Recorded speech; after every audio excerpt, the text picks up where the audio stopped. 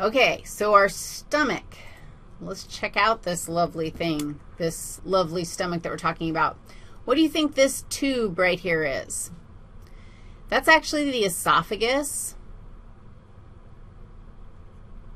where the esophagus um, enters the system. So uh, what you'll notice, I don't know, this is kind of an odd way of depicting this, but the stomach has a significant number of a significant amount of smooth muscle, and it actually has three layers of smooth muscle. Let's say three layers.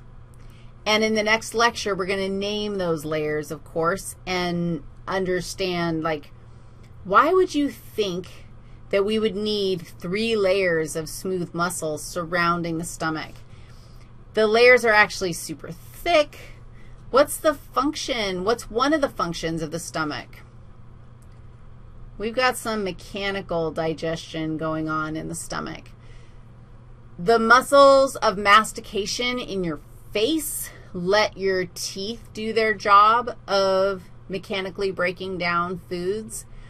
The layers of smooth muscle in the stomach, surrounding the stomach, making up the stomach tube, they allow, those layers allow the mechanical digestion of food to continue in the stomach.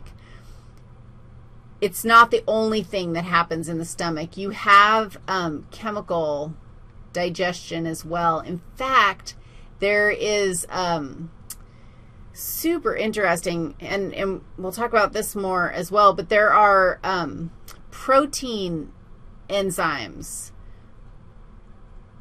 and they're called proteases. They're enzymes that break down protein, and they're secreted by the cells in the stomach. And so one of the secretions that is barfed into the lumen of the stomach is this uh, protein digestion, digester, protein enzymes. Mucus, holy mucus in the stomach, lots of it. In fact, the mucus is protective because the other thing that is happening in your stomach is um, acid. In fact, it's hydrochloric acid, and it's an incredibly um, low pH. Like it's a super acidic solution of hydrochloric acid that is secreted into your stomach where, like, if you took a bath in it, it would not be a pleasant experience. That's why when you vomit up your stomach acid, like, it hurts. Like, that is an unpleasant thing, and it can – like destroy your teeth if you vomit frequently. Your teeth can, the enamel on your teeth can be broken down by the acid, the stomach acid. So barfing is not fun um, because of the stomach acid, but the stomach acid actually changes the shape of the protein that you eat and allows the proteases to do their job of chemically breaking down some of those um, proteins. Why does this happen? Why do you do that? Stop it. Um, let's see. There's a really interesting characteristic of the stomach. It, I don't know if I would say it's stretchy so much as it's expandable. So on the interior surface of the stomach, there are wrinkles called rugae. R-U-G-A-E, or gastric folds.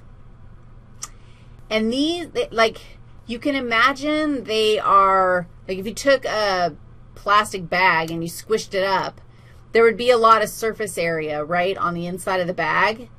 And then if you blew it up, you would remove all those wrinkles but you could blow up your bag really big. And that's what happens with your stomach. The rugae are these folds in your stomach where it's like deflated almost.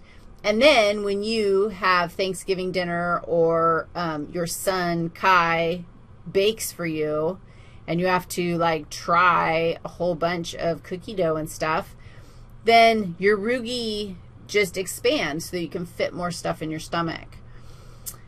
Um, the mechanical digestion happens when those muscles like churn the food stuff that you stuck in there.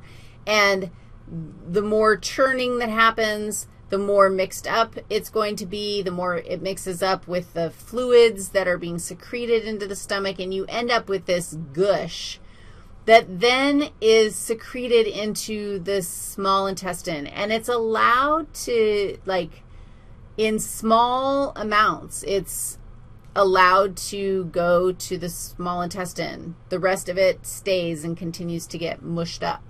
So let's look at the different areas of the stomach and, and label these things. So the cardiac region is the area of the stomach where food enters. And it's the first place that you enter. Um, the little, see, see how there's like this like bulgy thing? So you enter, food enters into the cardiac region. And then there's this little bulge that's almost superior to the entry zone. And that right there is called the fundus. So that's an area or a region of the stomach itself, the fundus. The body is the bulk of the stomach. So this whole thing is the body everything that isn't fundus or pylorus or pyloric region. So the pyloric region of the stomach and the fundus of the stomach and the cardiac region, everything else is the body of the stomach. The pyloric region is just before the pyloric sphincter. And the pyloric sphincter is a significant thickening of the um, smooth muscle that surrounds the stomach bag like a super noticeable thickening. In fact, if you palpate the stomach in our cadavers, you can like mush, mush, mush, mush, flat, flabby, flabby, flabby. Whoa, holy pyloric sphincter. Like you can really feel that thing. It's super significant. The pyloric sphincter remains closed. It's a circular arrangement of smooth muscle that can close down, and then it opens to let just a little bit of stuff out into the duodenum, duodenum, which is the first portion of the small intestine, and we'll talk about that next. Um, there are a couple of other landmarks that are significant. We have a couple of curvatures this, okay, here's one curvature, and here's another curvature. One of them's the lesser curvature of the stomach, and the other one's the greater curvature of the stomach. Which one's which? The outer one is the greater curvature. And these are significant because we're actually going to attach other structures to these. Um, and, and to me, it's super clear. The inner one is smaller, a little bit of a sharper curve. It's the lesser curvature. Um, and did that already. Lumen, greater. Okay.